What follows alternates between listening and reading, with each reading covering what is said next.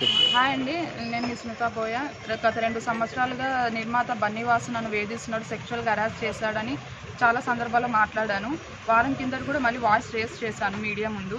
ఈరోజు Monday SP గారు ఈరోజు మండే రోజు కలవండి అని ఫకీరప్ప సార్ నేను ఫకీరప్ప సార్ని గత మూడు రోజుల కిందట వెళ్ళి మాట్లాడినప్పుడు మండే రోజు కంప్లైంట్ ఇవ్వండి అన్నారు.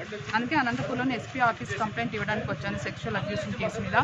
ఇప్పటికైనా మించిపోయింది తెలంగాణ పోలీస్ డిపార్ట్మెంట్ మీరు డబ్బుకు లొంగిపోయారా? లేకపోతే పలుకుబడికి లొంగిపోయినారో? గీత సమస్యలో బన్నివాసం కాపాడుకుంటూ వస్తున్నారు. నాతో ఈ మీడియా ముందు కూడా ఎవిడెన్స్ ఏవి ఏవి ఇవ్వకపోకుండా దొంగచాటుగా ఎవిడెన్స్ని లా- లాక్కున్నారు పోలీస్ డిపార్ట్మెంట్ వాళ్ళందరూ.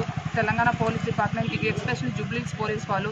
నాకు ఆరోగ్యం బాగాలేదు నాకు మతిస్థితం బాగాలేదు ఎరగటకు పంపించి చాలా న్యూసెన్స్ చేశారు. ఇక్కడ నా డాక్టర్స్ అన్ని చెక్ చేస్తారు ఇక్కడ ఫకీరప్ప సారు. ఇందాక నేను కంప్లైంట్ ఇవ్వడానికి వెళ్తున్నాను. దయచేసి గీతా సంస్థ వాళ్ళు ముందుకొచ్చి బన్నీవాస్కి నాకేం జరిగిందో ఎంక్వైరీ చేయండి. ఇప్పటికైనా ఎందుకు టూ ఇయర్స్ అయినా బన్నివాస్నే పట్టుకొని వెళ్ళాను ఒక అమ్మాయి ఒకసారి చెప్పిందంటే ఏదో ఫేమ్ కోసం చెప్పింది రెండు సార్లు చెప్పిందంటే ఏదో పబ్లిసిటీ స్టంట్ కోసం చెప్పింది అనుకోవచ్చు. నేను గత రెండు సంవత్సరాలుగా బన్నీవాస్ పేరు మీదే ఇన్నిసార్లు అలగేషన్స్ చేస్తున్నానంటే ఆయన తప్పు చేశాడు కాబట్టి నేను బయటకు వచ్చి మాట్లాడుతున్నాను. నాకు సినిమా అవకాశాలు ఇప్పిస్తానని చెప్పి రిలేషన్ మెయింటైన్ చేసి ప్రెగ్నెన్సీ తీసుకొచ్చి తర్వాత తీపిచ్చేసేసి పెళ్ళి చేసుకుంటూ చెప్పి నమ్మించి మోసం చేశాడు. ఆ దాని మీద ఇప్పుడు కంప్లైంట్ ఇస్తున్నాను. నిన్న న్యూస్ మా అసోసియేషన్ ఎలక్షన్స్లో ప్రకాష్ రాజు గారు విష్ణు గారు ఇద్దరు పోటీ చేశారు. విష్ణు గారు గెలిచారు. విష్ణు గారు ఒక మేనిఫెస్టో కూడా రిలీజ్ చేశాడు. ఆ- మా సభ్యత ఉన్న వాళ్ళకి లేని వాళ్ళకి. కంపెనీ ఆర్టిస్ట్ కానీ జూనియర్ ఆర్టిస్ట్ కానీ ఎవరికైనా కానీ ఒక ఆర్టిస్ట్ అనేది ఒక ఒక క్రెడిట్ అయ్యింది అమ్మాయికి. ఇండస్ట్రీ అంటే గిన సెక్షువల్గా హరాస్ చేసిన ఎవరైనా మోసం చేసిన నేను ముందుండి వాటి ప్రాబ్లమ్ సాల్వ్ చేస్తా. ముఖ్యంగా అమ్మాయిల విషయంలో ఒక మేనిఫెస్టో రిలీజ్ చేశారు.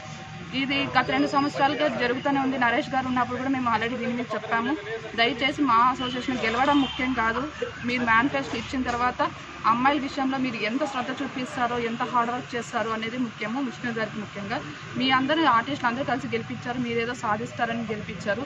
దయచేసి బన్నీవాస్కి నాకు ఏం జరిగిందో ఆఫీస్కి పిలిపిస్తారు. ఇంతకుముందు మీరు ఫిలిం ఛాంబర్ అసోసియేషన్లో కూడా సీక్రెట్ మీటింగ్ అరేంజ్ చేసి నాకు మీటింగ్ అరేంజ్ చేసి నాతో ప్రాబ్లమ్స్ అన్నీ విన్నారు. ఇప్పుడు కూడా విష్ణు గారు విని నా ప్రాబ్లమ్స్ సాల్వ్ చేస్తారని కనీసం అవసరం. త్వరలో హైదరాబాద్కి వస్తున్నాను.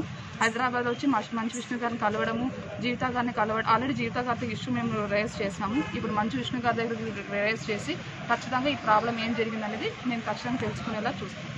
థ్యాంక్ చూసారు కదండి మరి ఈ వీడియో కనుక మీకు నచ్చినట్లయితే ఒక లైక్ కొట్టేసి మీ అభిప్రాయాన్ని కూడా కామెంట్ బాక్స్లో తెలియజేస్తూ ఇలాంటి ఇంట్రెస్టింగ్ అప్డేట్స్ కోసం మా ఛానల్ని సబ్స్క్రైబ్ చేసుకోండి.